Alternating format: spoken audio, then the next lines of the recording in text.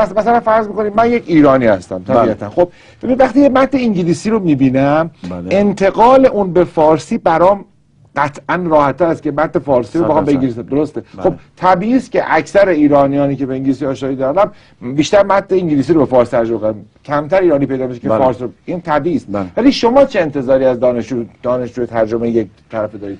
معتقد هستید که اون باید در تارگت استادتر باشه یا در سورس؟ ببینید این باید نیست. این خواه ناخواه اون زبان مادریشو بهتر می‌دونه. ولی من به عنوان یک معلم همیشه از شاگردام خواستم یعنی به عنوان یک وظیفه.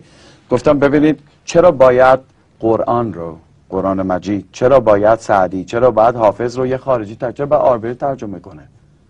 چرا من ایرانی نباید ترجمه کنم؟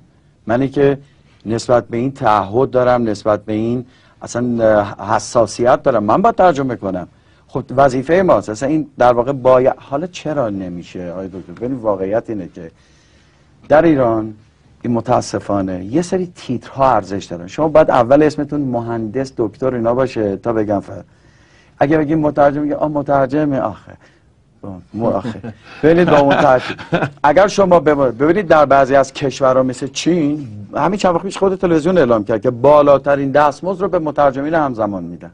VIP treatment بهشون میدن. فرش قرمز براشون میندازن.